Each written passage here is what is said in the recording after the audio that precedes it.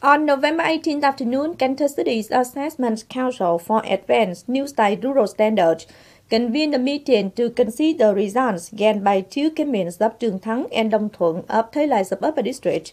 The meeting was chaired by Vice Chairman of Kansas City People's Committee Nguyễn Ngọc Hè.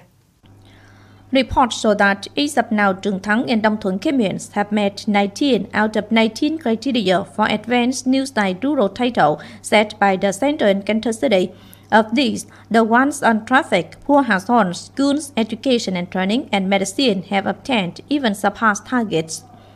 Offering congratulations on being recognized the advanced New Style Rural Standard, the Vice Chairman suggested the two communes continue gathering opinions from members of the Verification Council with the purpose of further improving economic efficiency as well as living quality.